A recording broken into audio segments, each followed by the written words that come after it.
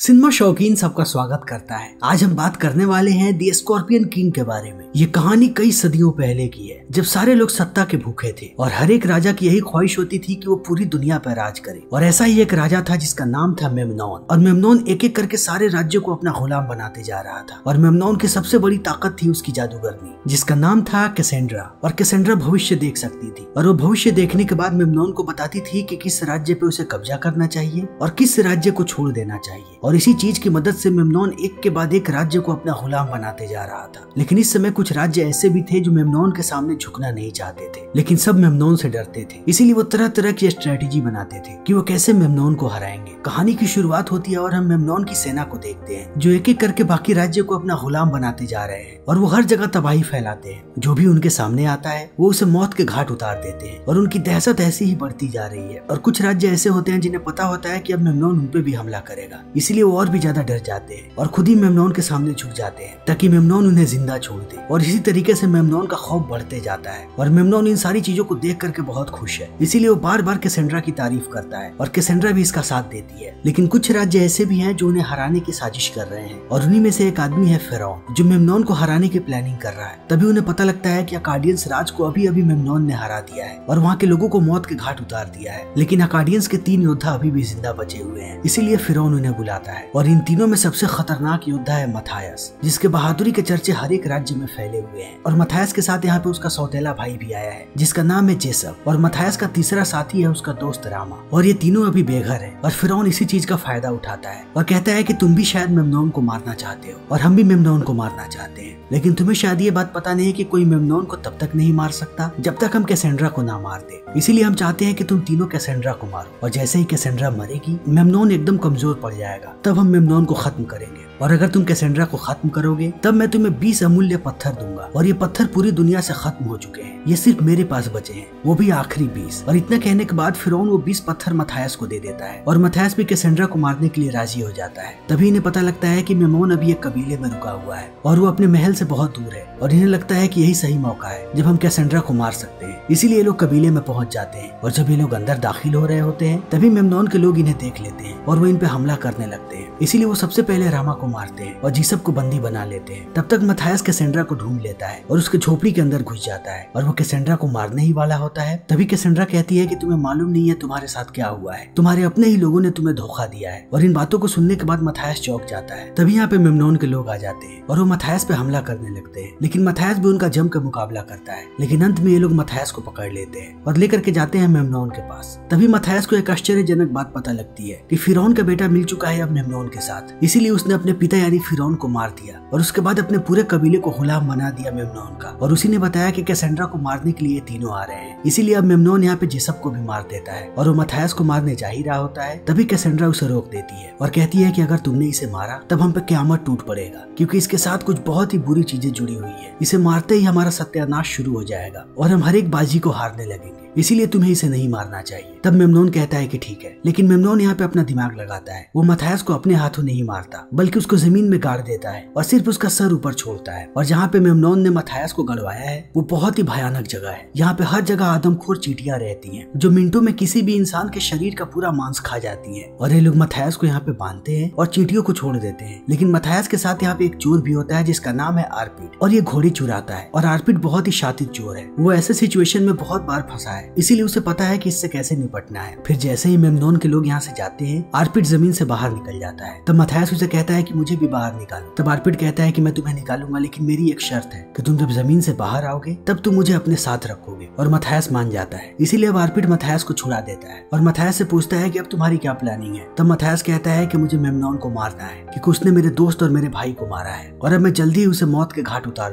और इतना कहने के बाद वो आगे निकल जाता है। और अब अर्पिट भी उसके साथ होता है। तभी हम मेमनोन को देखते हैं, जो कैसेंड्रा को कहता है कि मुझे बताओ कि अब मुझे किस राज्य पे हमला करना चाहिए। तब कैसेंड्रा सारे राज्यों को देखने लगती है, लेकिन सबको देखने के बाद वो कहती है की अब हमें इस काम को छोड़ देना चाहिए, क्यूँकी हमने बहुत सारे लोगों का खून बहा दिया। और अभी जितने राज्य हमारे पास हैं, वो बहुत ज़्यादा है। हमें सिर्फ़ उसी पे ध्यान देना चाहिए। तब मेमनोन कहता है कि नहीं, मुझे पूरी दुनिया का राजा बनना है। तब कैसेंड्रा कहती है कि तुम पूरी दुनिया का राजा बन के क्या करोगे? तब मेमनोन कहता है कि तुमसे शादी, क्योंकि मैं तुम्हें चाहता हूँ। और जिस दिन मैंने पूरी दुनिया पे कब्जा कर लिया, उस दिन मैं तुमसे शादी कर लूँगा। तब कैसेंड्रा कहती है कि तुम्हें पता है ना कि जिस दिन मैं किसी के साथ भी इंटीमेट हुई, उस दिन मेरी सारी शक्तियाँ चली जाएँगी। तब मेमनोन कहता है कि इस बात से मुझे कोई फ़र्क नहीं पड़ता। जिस दिन मैं पूरी दुनिया का राजा बन गया, उसके बाद मुझे तुम्हारी शक्तियों की कोई भी ज़रूरत नहीं पड़ेगी। और इन बातों को सुनकर कैसेंड्रा डर जाती है, क्योंकि वो मेमनोन के साथ नहीं रहना चाहती। तभी हम मथैस को देखते हैं जो पहुँच चुका है मेमनोन के महल के पास। लेकिन वो शहर में चारों तरफ़ घूम रहा है ताकि उसे पता लग सके की वो महल के अंदर कैसे दाखिल होगा। तभी वो देखता है की एक बच्चे ने उसके पत्थर चुरा लिए हैं। और वो बच्चा यहाँ से भागते जा रहा है। इसीलिए मथायस उसका पीछा करने लगता है और बहुत देर पीछा करने के बाद वो बच्चे को पकड़ लेता है और उसे सारे पत्थर छीन लेता है। लेकिन मथायस को पता है कि ये बच्चा बहुत ही शातिर है और ये ज़रूर रास्ता जानता होगा मेमनोन के महल का। इसीलिए मथायस उस बच्चे से कहता है की मुझे उसके महल के अंदर लेकर के चलो और मैं तुम्हें एक कीमती पत्थर दूँगा और वो बच्चा मान भी जाता है। इसीलिए वो उसे खुफिया रास्ते से लेकर के जाने लगता है। तभी इन लोगों की मुलाकात होती है एक बुज़ुर्ग आदमी से, जो गोले बारूद बनाने में एक्सपर्ट है और वो गोले बारूद इसलिए बनाता है ताकि वो मेमनोन को मार सके। और इस आदमी का नाम है फिलोस। और फिलोस इन सारी चीज़ों के बारे में मथायस को बताता है। तब मथायस पूछता है कि मेमनोन मुझे कहाँ पे मिलेगा? तो फिलोस कहता है कि अभी वो प्रैक्टिस कर रहा होगा और वो तुम्हें ग्राउंड में मिलेगा। इसीलिए अब मथायस पहुँचता है ग्राउंड में और वो देखता है कि मेमनोन प्रैक्टिस कर रहा है। वो अपने शागिर्दों को कहता है कि वो उस पर तीर चलाए और तीर किसी भी रफ्तार से आती है, मेमनोन उसे रोक लेता है। और अब मथायस को मेमनोन मिल चुका है। इसीलिए वो बच्चे को एक पत्थर देता है और उसे यहाँ से भगा देता है। और वो मेमनोन को मारने की तैयारी कर ही रहा होता है। तभी वो उसी बच्चे को देखता है, जिसे मेमनोन के लोगों ने पकड़ लिया है। क्योंकि उन्हें इस बच्चे के पास एक कीमती पत्थर मिला था और उन्हें लगता है कि ये पत्थर शायद उसने मेमनोन के खजाने से चुराया है। इसीलिए लोग मेमनोन के पास उस बच्चे को ले जाते हैं और मेमनोन उस पत्थर को छीनता है और कहता है कि इस बच्चे का हाथ काट दो। इसीलिए उसके लोग अब उस बच्चे का हाथ काटने लगते हैं और इस चीज़ को देखने के बाद मथायस और भी गुस्सा हो जाता है और वो सोचता है कि वो इस बच्चे को बचाएगा और फिर कभी मेमनोन को मारेगा। इसीलिए वो उन लोगों पे हमला करने लगता है जो उस बच्चे को मार रहे होते हैं। तब तक वो मथायस को भी देख लेते हैं। इसीलिए अब मेमनोन के सारे लोग मथायस पे हमला करने लगते हैं और मथायस यहाँ से भागने लगता है और वो भागते भागते एक झोपड़ी में कूद जाता है, जहाँ पे वो देखता है कि कैसेंड्रा नहा रही है। इसीलिए वो कैसेंड्रा को बंदी बना लेता है। तब तक यहाँ पे मेमनोन के बहुत सारे लोग आ जाते हैं। इसीलिए वो कैसेंड्रा को लेकर के एक नाले से बाहर निकल आता है और उसे पकड़ के यहाँ से दूर भाग जाता है और वो उसे लेकर के जाने लगता है। तब कैसेंड्रा पूछती है, मथायस से कि तुमने मुझे क्यों पकड़ा है? तब मथायस कहता है कि, मैं जानता हूँ, तुम्हें ढूंढता हुआ मेमनोन आएगा। तब मैं उसे मार के अपने भाई और दोस्त का बदला पूरा करूँगा। तब तक रात हो जाती है। इसीलिए लोग इस वीराने में आराम करने लगते हैं। लेकिन जैसे ही कैसेंड्रा को पता लगता है की मथायस सो चुका है, वो यहाँ से भागने की कोशिश करती है। लेकिन उसे पकड़ लेता है। और कहता है कि आखिर तुम मेमनोन के पास क्यों वापस जाना चाहती हो? मेमनोन तुम्हें क्या देता है? तब कैसेंड्रा कहती है कि मैं मेमनोन के पास नहीं जाना चाहती। मैं सबसे दूर जाना चाहती हूँ, क्योंकि बचपन से मैं उसके पास थी और उसने मुझे गुलामों की तरह रखा है और मेरा दम घुटता है उसके महल में। इसीलिए मैं सबसे दूर भाग जाना चाहती हूँ। तब इन बातों को सुन के मथायस कहता है कि तुम मुझे ये बात बताओ कि तुमने मेरी जान क्यों बचाई? उस दिन वो लोग मुझे मारने वाले थे, लेकिन तुमने उन्हें रोक दिया। तब कैसेंड्रा कहती है, क्योंकि मैं भविष्य देख सकती हूँ और मुझे पता लग गया था कि तुम मुझे वहाँ से छुड़ाओगे। इसीलिए मैं तुम्हारा इंतज़ार कर रही थी और बातों को सुनने के बाद मथायस रिहा कर देता है कैसेंड्रा को और कहता है कि तुम यहाँ से जा सकती हो।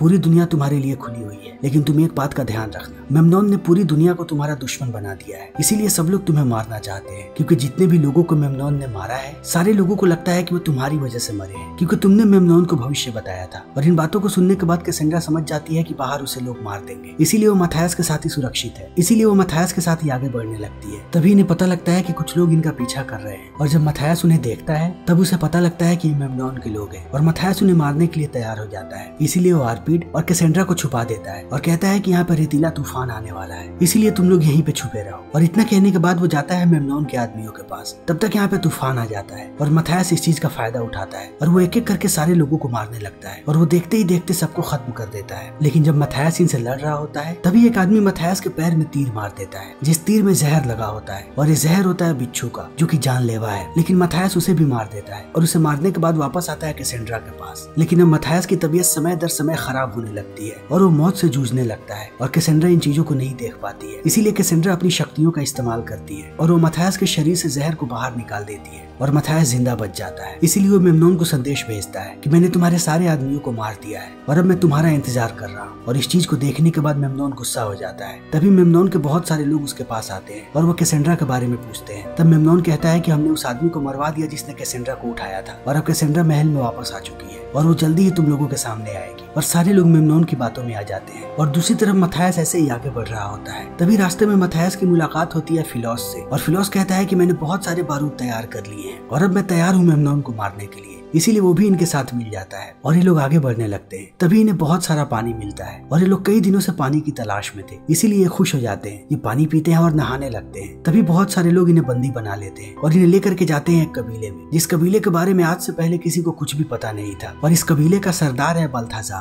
बल्थाजार एक बहुत ही महान योद्धा है, लेकिन वो मथायस से नफरत करता है और वो मथायस का जान का दुश्मन है, क्योंकि बहुत साल पहले से इन दोनों में दुश्मनी चल रही है। इसीलिए बल्थजार जैसे ही मथायस को देखता है और उसके साथ कैसेंड्रा को, वो आग बबूला हो जाता है, क्योंकि ये दोनों को अपना दुश्मन मानता है। इसीलिए अपने आदमियों को कहता है की कैसेंड्रा को मार दो और मथायस को मैं खुद मारूँगा। और अब इसके सारे लोग कैसेंड्रा को मारने जाते हैं। तब मथायस उनके सामने खड़ा हो जाता है और कहता है कि जो भी कैसेंड्रा पे नज़र उठाएगा, मैं उसको मौत के घाट उतार दूँगा। और वैसे ही सारे लोगों को मारने लगता है। तभी बल्थाजार उसके सामने आता है और मथायस कहता है कि क्यों ना हम दोनों फैसला करें। हम में से जो जीतेगा, वो जो कहेगा, वही होगा। और अब ये दोनों लड़ने लगते हैं और यहाँ पे घमासान लड़ाई चलने लगती है, क्योंकि ये दोनों ही महान योद्धा है। इसीलिए इनके बीच ऐसे ही लड़ाई चलती रहती है और इन्हें देख करके लगता है की कोई किसी से कमज़ोर नहीं। लेकिन मथायस बहुत ताकतवर है, इसीलिए वो जल्दी ही बाल्थाजार को हरा देता है। लेकिन वो बाल्थाजार को मारता नहीं है और कहता है की मैं तुम्हें यहाँ पे मारने नहीं आया, बल्कि मैं सिर्फ़ एक ही आदमी को मारना चाहता हूँ और वो है मेमनोन और तुम भी मेमनोन को मारना चाहते हो। तो हमें आपस में लड़के अपना वक्त जाया नहीं करना चाहिए, बल्कि एक साथ मिलकर हमें मेमनोन को मारना चाहिए और बाल्थाजार को ये बात पसंद आती है। इसीलिए वो इसके साथ लड़ने के लिए मान जाता है और ये दोनों इसी कबीले में रहने लगते हैं। तभी रात में कैसेंड्रा को भविष्य नज़र आता है और वो देखती है कि जल्दी ही मेमनोन के लोग यहाँ पे आ जाएँगे और वो सबको मार देंगे और हर जगह लाशें ही लाशें होंगी और इस चीज़ को देखने के बाद कैसेंड्रा डर जाती है और वो नहीं चाहती कि कोई भी मासूम मरे। इसीलिए वो जाती है मथायस के पास और कहती है कि अगर हम ज़्यादा देर तक यहाँ पे रुके, तब मेमनोन के लोग यहाँ पे आ जाएँगे और वो सबको मार देंगे। मैंने अभी अभी भविष्य देखा। तब मथायस कहता है कि मैं इन सारी चीज़ों को नहीं मानता। तभी कैसेंड्रा को फिर से भविष्य नज़र आता है और वो देखती है कि मथायस जब महल में जाएगा, तब उसे एक तीर लगेगा और उसी तीर से मथायस की मृत्यु हो जाएगी। इसीलिए कैसेंड्रा और भी ज़्यादा डर जाती है और वो मथायस को कहती है की मौत तुम्हारे सर पे घूम रही है। तब मथायस कहता है की मैं मौत से नहीं डरता और मैं सिर्फ़ एक ही चीज़ से डरता हूँ, मेमनोन को मारने से पहले मरने से। इसीलिए मैं जल्दी से मेमनोन को मारूँगा। और इतना कहते ही ये दोनों नज़दीक आने लगते हैं। और कैसेंड्रा इस चीज़ को भूल जाती है कि अगर वो किसी के साथ भी इंटीमेट होगी, तब उसकी शक्तियाँ चली जाएँगी और वो मथायस के साथ इंटीमेट हो जाती है। लेकिन जब आधी रात में कैसेंड्रा जगती है, तब वो सोचती है कि वो अपने लिए इन पूरे कबीले वालों को नहीं मरने देगी। इसीलिए वो निश्चय करती है कि वो महल वापस जाएगी और वो महल की तरफ़ वापस निकल जाती है। तभी हम मेमनोन को देखते हैं और मेमनोन अपनी पूरी सेना को तैयार कर रहा है, ताकि वो एक और राज्य पे कब्जा कर सके। लेकिन अब उसके सारे सिपाही परेशान हैं, क्योंकि वो कैसेंड्रा को देखना चाहते हैं, क्योंकि कैसेंड्रा के शब्दों से ही उन्हें पुष्टि मिलती है कि वो लोग इस युद्ध को जीतेंगे या फिर नहीं? इसीलिए वो बार बार मेमनोन से पूछते हैं कि कैसेंड्रा कहाँ है। और मेमनोन उन्हें झूठ बोलते रहता है। लेकिन आज ये लोग कैसेंड्रा को बिना देखे नहीं मानेंगे। तभी यहाँ पे कैसेंड्रा आ जाती है और कहती है कि हमारी जीत होगी और जल्दी हमारा दुश्मन से सामना होगा। लेकिन अब कैसेंड्रा को देखने के बाद मेमनोन को शक होने लगता है कि ये खुद ब खुद वापस कैसे आ गई। तभी हम मथायस को देखते हैं और वो जैसे ही सुबह में जगता है, वो देखता है कि कैसेंड्रा यहाँ से जा चुकी है। इसीलिए वो निश्चय करता है कि वो महल में वापस जाएगा। क्योंकि वो जानता है कि मेमनोन कैसेंड्रा को भी मार सकता है। इसीलिए वो यहाँ से जाने लगता है। तभी बाल्थजार उसके सामने आता है और कहता है कि तुम इस सफ़र में अकेले नहीं हो दोस्त, हम भी तुम्हारे साथ चलेंगे। इसीलिए अब कबीले के सारे लोग भी इसके साथ हो जाते हैं। तभी दूसरी तरफ़ मेमनोन निश्चय करता है कि वो कैसेंड्रा का इम्तिहान लेगा। क्योंकि उसे लगता है कि अब कैसेंड्रा ने अपनी शक्तियाँ खो दी है और वो उन्हें गुमराह कर रही है। लेकिन कैसेंड्रा इन बातों से इनकार करती है। इसीलिए वो कैसेंड्रा के सामने बहुत सारे घड़े रखता है और उनमें से ज़्यादातर घड़े में सांप रख देता है और कहता है कि तुम्हें उस घड़े में हाथ डालना है जिसमें सांप ना हो। तभी दूसरी तरफ़ हम देखते हैं कि मथायस यहाँ पे आ चुका है और बाल्थाजार भी अपने सारे लोगों के साथ। इसीलिए वो सबको मारने की प्लानिंग कर रहे हैं। और फिलोस यहाँ पे हर जगह बारूद लगा रहा है, ताकि वो पूरे महल को उड़ा सके। तभी कैसेंड्रा एक ऐसे घड़े में हाथ डालती है, जिसके अंदर सांप होता है। और मेमनोन समझ जाता है कि कैसेंड्रा ने अपनी शक्तियाँ खो दी है। इसीलिए वो कैसेंड्रा को डांटने लगता है और कहता है की तुम्हें पता नहीं की तुमने क्या किया है। अब तुम मरने वाले हो, क्यूँकी तुम एक लालची हो और तुम्हारा मन कभी नहीं भरता। और तुमने आज तक किसी से भी प्यार नहीं किया। और अब इन बातों को सुनने के बाद मेमनोन उसे मारने ही वाला होता है। तभी यहाँ पे मथायस आ जाता है और वो मेमनोन से लड़ने लगता है। और इन दोनों के बीच घमासान लड़ाई होने लगती है, क्योंकि ये दोनों ही बहुत ही खतरनाक योद्धा है। तभी दूसरी तरफ़ हम बाल्थाजार को देखते हैं, जो एक एक करके मेमनोन के बाकी लोगों को मार रहा है। और मेमनोन के पास जितने भी योद्धा होते हैं, बाल्थाजार उन सबको मारता है और अब हर जगह कत्लेआम फैल गया है। तभी हम मथायस को देखते हैं, जो मेमनोन पे भारी पड़ रहा है और वो मेमनोन को मारने ही वाला होता है। तभी मेमनोन उसके आँखों में कोयला डाल देता है और मथायस को कुछ भी नज़र नहीं आता। उसी वक्त दूसरी तरफ़ से एक आदमी आता है तीर लेकर के और वो मथायस पे तीर चलाने ही वाला होता है। तभी कैसेंड्रा इस चीज़ को देख लेती है और कैसेंड्रा ने अपनी भविष्यवाणी में इसी तीर को देखा था। इसीलिए वो नहीं चाहती कि मथायस को ये तीर लगे। फिर वो दौड़ती हुई जाती है मथायस के सामने खड़ी होने के लिए, ताकि वो उसे तीर से बचा ले। लेकिन मथायस जैसे ही कैसेंड्रा को देखता है, वो कैसेंड्रा को बचा करके खुद तीर के सामने आ जाता है और वो तीर आकर के मथायस के पीठ में लग जाती है और वो जख्मी होकर के नीचे गिर जाता है। तभी वो तीर वाला आदमी तलवार लेकर के आता है मथायस को मारने के लिए। तभी कैसेंड्रा खड़ी होती है और वो उस आदमी को मार देती है। तब तक मथायस अपने आप को संभाल चुका होता है। इसीलिए वो खड़ा होता है और एक धनुष उठाता है। उसके बाद अपने पीठ से तीर बाहर निकालता है और वो मेमनोन पे निशाना लगाने लगता है। लेकिन मेमनोन को इस बात से कोई फ़र्क नहीं पड़ता, क्योंकि वो हर रोज ऐसे तीर को रोकने की प्रैक्टिस करता है। इसीलिए वो तीर को रोकने के लिए खड़ा होता है। लेकिन आज उस पर तीर मथायस चला रहा होता है और मथायस के तीर में बहुत ही तेज गति होती है। इसीलिए मेमनोन उसे नहीं रोक पाता है और वो तीर मेमनोन के छाती के आर पार हो जाती है और मेमनोन नीचे गिरने लगता है। तभी फिलोस अपने बारूद में आग लगा देता है और यहाँ का पूरा महल उड़ने लगता है और मेमनोन इसी धमाके के चपेट में आ जाता है। और मेमनोन और उसके सारे लोगों की मृत्यु हो जाती है। और जल्दी ही सारे लोगों को ये बात पता लग जाती है कि यह सब कुछ मथायस ने किया है। इसीलिए सब मथायस के सामने झुक जाते हैं और कहते हैं कि हम चाहते हैं कि आप हमारे अगले राजा बने। और मथायस यहाँ का राजा बन जाता है। और मथायस के राजा बनने से सारे लोग खुश है और बाल्थाजार भी।